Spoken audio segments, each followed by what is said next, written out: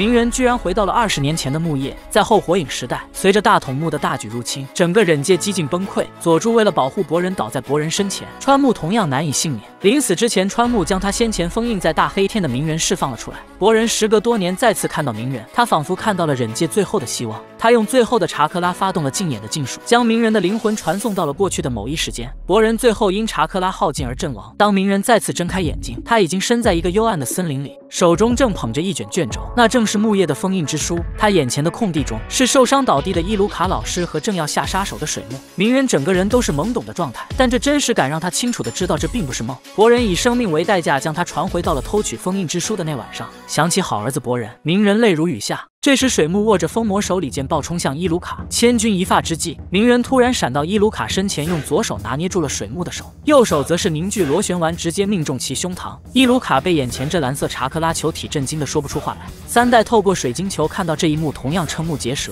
鸣人居然会水门的螺旋丸。随着水木绝望的大喊，他的整个身子旋转着倒飞了出去。清晨的阳光洒在了鸣人的身上，伊鲁卡看着他的背影，陷入了沉思。白天，鸣人还是那个全班里的吊车尾，现在却成了可靠的大树。虽然不知道他身上到底发生了什么事，但伊鲁卡不由得觉得鸣人说不定真的可以成为火影。和前世一样，他将自己的护额送给了鸣人，并恭喜他毕业了。鸣人虽然已经经历过一次，但此刻还是深深的感动。托儿子博人的福，他从那个惨烈的未来重生到了最开始的时候。这一次，他一定要强大到能够打败未来的那些家伙，守住这个世界。在告别了伊鲁卡之后，鸣人独自一人回到了家里。他怀着忐忑的心情，将手搭在了腹部上。八卦封印的术士显现，鸣人来到了九尾的封印处。九尾察觉到了鸣鸣人的到来，愤怒的将爪子伸出，牢笼袭向鸣人面门。鸣人并没有闪躲，只是亲切的和九尾打着招呼。你的眼神还是老样子凶狠啊，九喇嘛！鸣人的话语让九尾硕大的瞳孔骤然一震，他质问鸣人从哪里知道了这个名字。鸣人并没有回答，只是伸出了自己的右手，并表示想要知道答案的话，那就和他碰拳吧。九尾狠狠盯着鸣人，没有动作。整个封印空间陷入一片死寂。片刻之后，一人一狐时隔多年再次碰拳，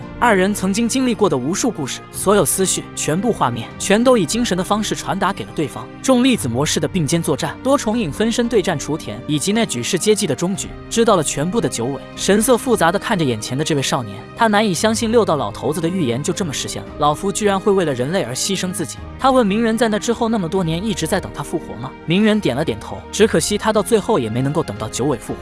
不过现在以这种方式再次看到健康的九尾，他也甚是高兴。九尾冷哼一声，只不过是未来的我认同你罢了，我可没认同你。鸣人听完表示他会努力让现在的九尾认可他的。一人一狐对视一阵之后，封印空间内传来了阵阵爽朗的笑声。这时在妙木山的大蛤蟆仙人突然醒了，他让申作去请自来也过来，他有要事要公布。